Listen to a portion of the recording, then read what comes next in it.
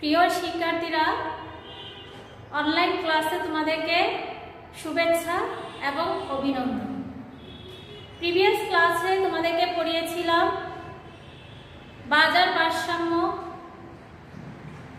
কি এবং বাজার ভারসাম্যের মধ্যে কীভাবে ভারসাম্য দাম এবং পরিমাণ নির্ধারিত হয়েছে সেটা তোমাদেরকে দেখিয়েছিলাম।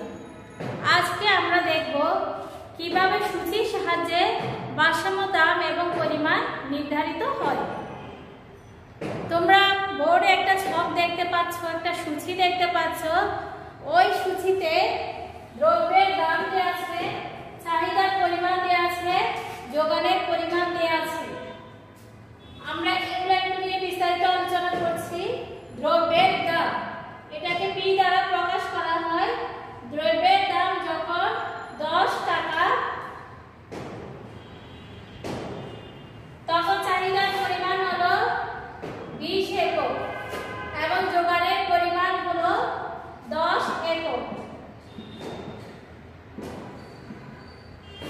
দশ টাকা দামে চাহিদার পরিমাণ হলো বিশ একক যোগানের পরিমাণ হলো দশ একক দাম যদি বাড়ে দশ টাকা থেকে বিশ টাকা হলে চাহিদার পরিমাণ বেড়ে সরি চাহিদার পরিমাণ কমে বিশ থেকে পনেরো একক হয় দ্রব্যের দাম যখন বিশ থেকে ত্রিশ এককে ত্রিশ টাকায় চলে আসে, তাহলে চাহিদার পরিমাণ পনেরো একক থেকে দশ এককে চলে আসে। অর্থাৎ দাম বাড়ার সাথে সাথে চাহিদার পরিমাণ কমে যাচ্ছে। দশ টাকা থেকে বিশ টাকা বিশ টাকা থেকে ত্রিশ টাকায় যখন দাম বেড়ে যায়, চাহিদার পরিমাণ তখন আস্তে আস্তে কমে যায়। বিশ একক থেকে পনেরো একক পনেরো একক থেকে দশ একক তাহলে দাম বাড়ার সাথে সাথে চাহিদার পরিমাণ কমে যায় তাহলে চাহিদা এবং দামের মধ্যে যে বিপরীতমুখী সম্পর্ক আমরা সেটা সূচিতে দেখতে পাচ্ছি। দাম বাড়ার সাথে সাথে চাহিদার পরিমাণ কমে যাবে। আবার দামের প্রেক্ষিতে যোগানের পরিমাণের কি অবস্থা হয় দেখো? দাম যখন দশ টাকা, তখন যোগানের পরিমাণ হলো দশ একক। দাম যখন আস্তে আস্তে বেড়ে বিশ একক থেকে ত্রিশ একক হচ্ছে, যোগানের পরিমাণ তখন পনেরো একক থেকে বিশ একক হচ্ছে। অর্থাৎ দশ একক থেকে পনেরো একক পনেরো একক থেকে বিশ একক যোগানের পরিমাণ বেড়ে যাচ্ছে। তাহলে আমরা বুঝতে পারছি দাম যখন বাড়বে, যোগানের পরিমাণ বাড়বে। দামের প্রেক্ষিতে যোগানের একটা পজিটিভ বা সমমুখী সম্পর্ক রয়েছে, যার কারণে দামের সাথে যোগানের একটা সমমুখী সম্পর্ক আমরা দেখতে পাচ্ছি। তাহলে দ্রব্যের দাম যখন দশ টাকা দশ টাকা থেকে বিশ টাকা, ত্রিশ টাকায় আসছে, একই সাথে যোগানের পরিমাণ বেড়ে দশ একক থেকে পনেরো একক পনেরো একক থেকে বিশ একক হচ্ছে। দামের প্রেক্ষিতে যোগানের যে সমমুখী সম্পর্ক, আমরা সেটা সূচিতে দেখতে পাচ্ছি। তাহলে দামের সাথে চাহিদা পরিমাণের সম্পর্ক হচ্ছে নেগেটিভ এবং দামের সাথে যোগানের সম্পর্ক হচ্ছে পজিটিভ এবার আমরা দেখব চাহিদার যে যোগানের সম্পর্ক আমরা দেখেছি, সেটাকে কীভাবে আমরা গাণিতিকভাবে লিখতে পারি। এখানে যে কিউডি দেখতে পাচ্ছি, এটা হচ্ছে চাহিদার পরিমাণ আর যোগানের পরিমাণকে কি quantity of demand quantity of supply QD মানে হলো চাহিদার পরিমাণ কিউএস মানে হলো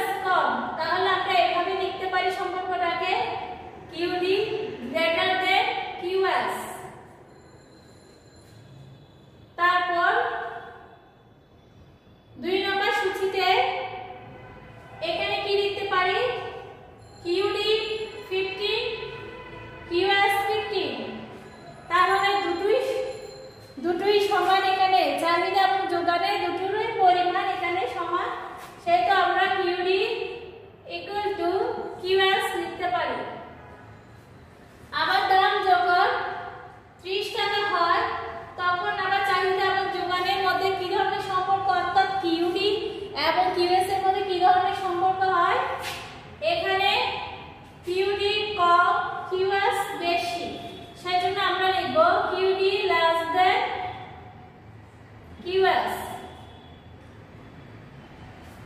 বুঝতে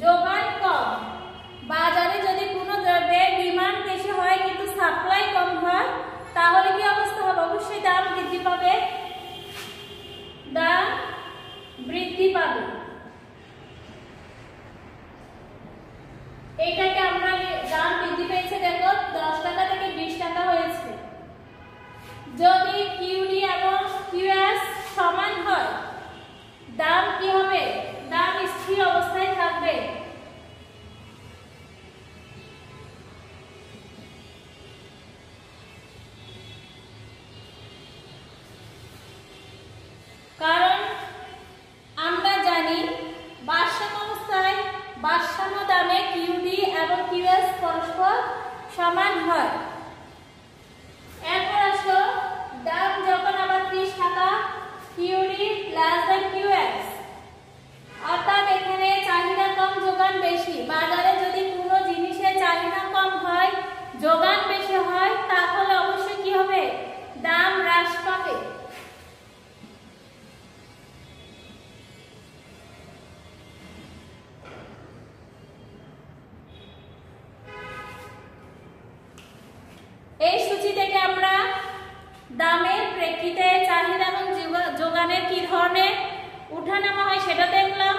সম্পর্কটা দেখলাম এবং দামের অবস্থান কীরকম হয় সেটাও দেখলাম। এরপরে ক্লাসে তোমাদেরকে এই চাহিদা এবং যোগানের সলিউশন কীভাবে করতে হয় মেতাকারে সেটা তোমাদেরকে আমি দেখিয়ে দিব। সে পর্যন্ত সকলে ভালো থেকো, সুস্থ থেকো এবং নিরাপদে থেকো। সকলকে অনেক অনেক ধন্যবাদ।